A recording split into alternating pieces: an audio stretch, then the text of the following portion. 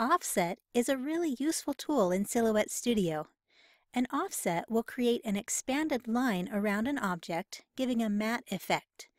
You can also create an internal offset to create contoured inner lines for designs.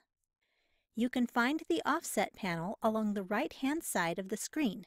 It looks like a star with an outline. Or you can find it on the Quick Access toolbar at the top when a shape is selected. You can see there are two choices when you have a shape selected on your work page, Offset or Internal Offset. Select your shape, then click Offset. You now have options to customize this offset before applying it, both with distance and with corner style. Increasing the distance makes the outline grow farther from the original image, creating a larger matte effect. Decreasing the distance brings the outline in tighter to the original image. How large you want to create your offset will always depend on the image you're using and what effect you want it to have in that circumstance. You can also choose sharp or round corners on a design that has sharp corners on it. The default applies round corners, but you do have the choice to keep the offset corners sharp if that's what you want. Don't worry about extra lines in there if you have grouped objects or multiple shapes selected. Overlapped lines will weld together when the offset is applied. Click Apply. Now you have an offset that can be used as a white space border for print and cut, or a piece that can be cut separately as a matte backing for your design. I like to create an offset around traced images on my PixScan mat and other traced images I want to cut with a small border.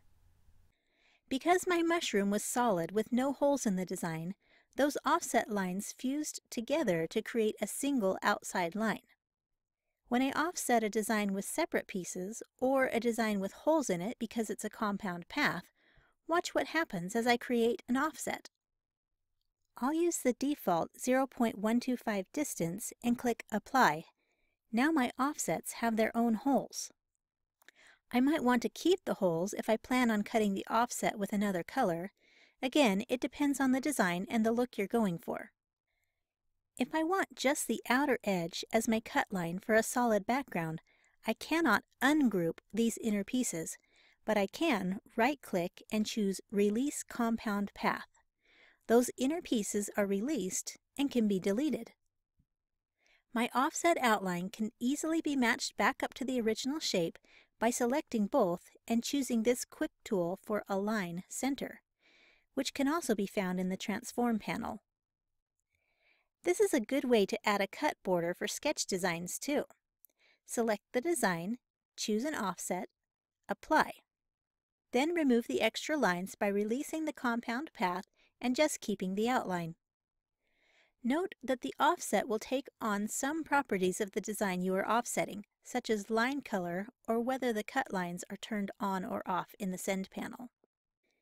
Verify cut lines in the Send panel to make sure what you want to cut is correct. To make sure this mushroom will only cut the offset after printing and not all the pieces in the center, I can select it all and choose Cut Edge. Creating a matte effect is just one way to use offset. You might also want to use it to thicken up some delicate text so it's easier to cut.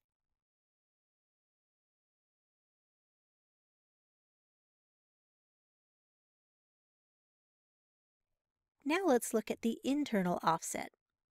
This is useful for slimming down shapes or text. I also like to use it to create a perfect internal offset of a rectangle.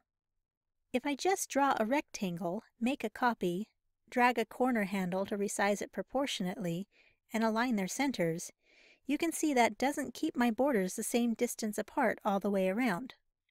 I need the Offset tool to do that.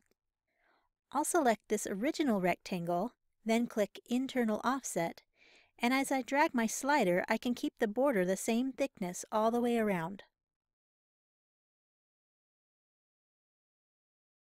The Offset tool is a handy but simple design tool I'm sure you'll find plenty of uses for. Thanks for watching, and I'll see you again soon.